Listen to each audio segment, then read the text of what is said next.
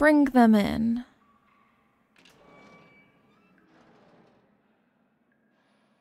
So, this is my latest sacrifice, hmm? Can't say I'm impressed. Even among the many other humans I've been given, this one seems particularly pathetic. Although, there is something peculiar about this one. Their appearance isn't anything special, but the aura they give off. Hmm. Leave us.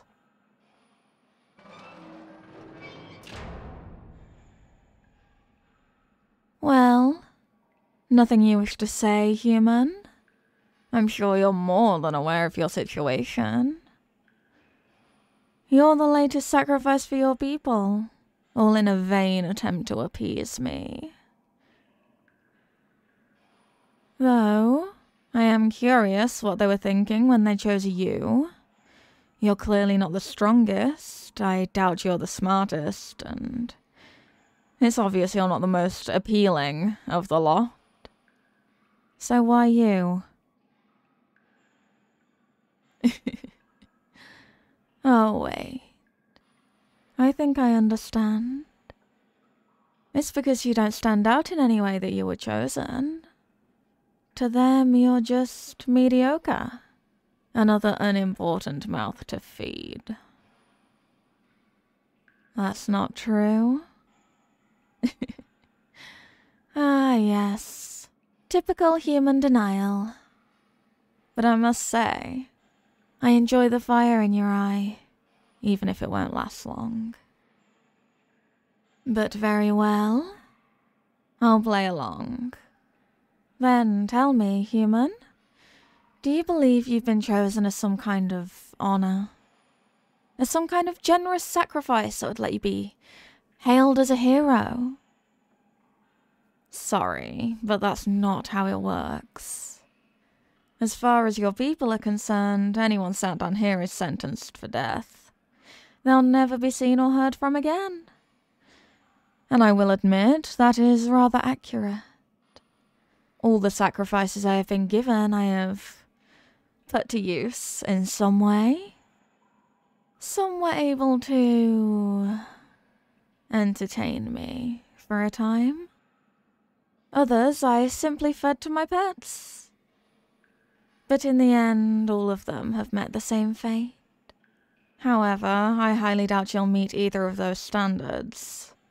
Frankly, it feels meaningless to even kill you.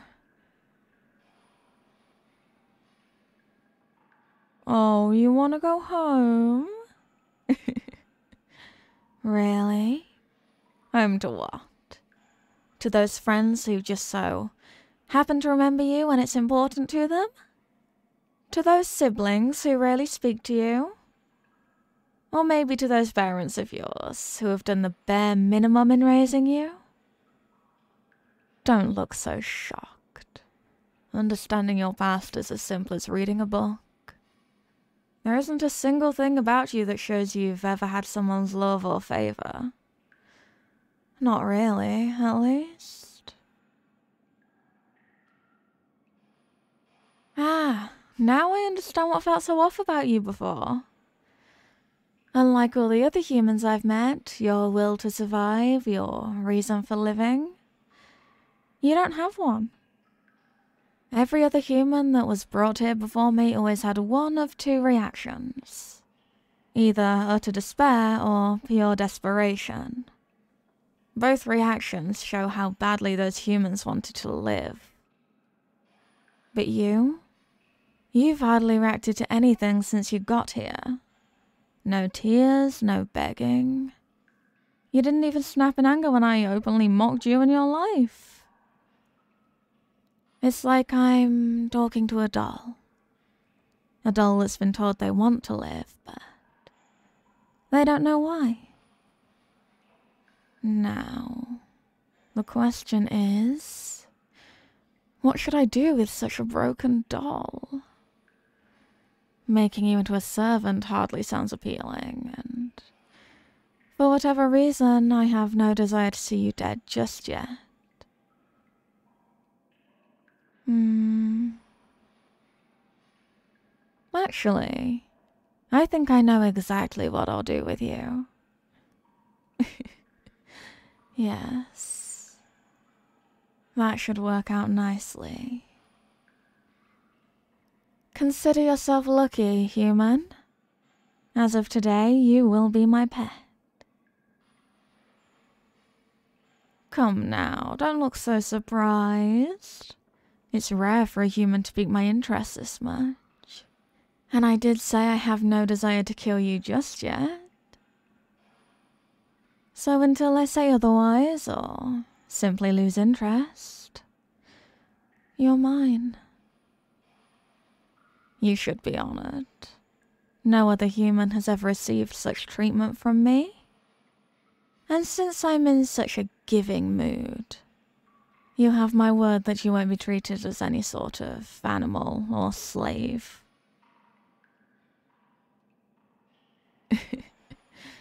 what a wonderful, confused expression you have.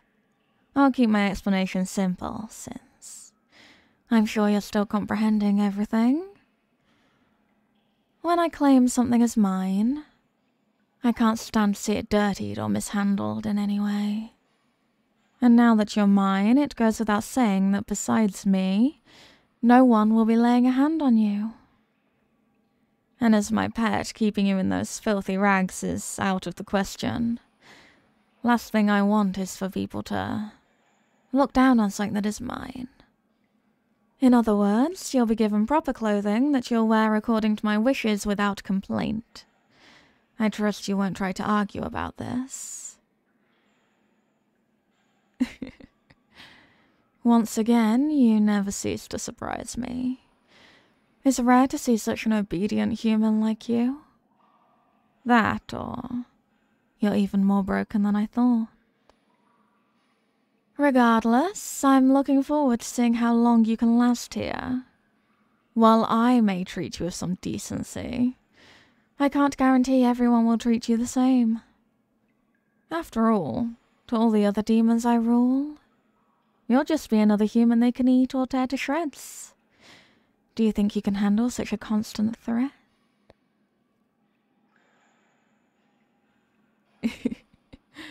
Well, it seems there's still some fire left in you after all. But I suppose you are correct in some way. There's no way I'd ever let someone touch what is mine. So I suppose you have less to worry about in that sense. There truly is more to you than meets the eye, isn't there? One minute you're as docile as a mouse, the next you're as brave as the most brazen of humans. Now I'm really looking forward to seeing what else there is to learn about you. Though I suppose I'll have to wait until then. I suppose all that's left is to show you to your new room. And of course, it will be right next to mine in case you're wondering. Oh, don't worry about the chains. I'll remove them soon enough. At least once I find a collar that'll fit you nicely.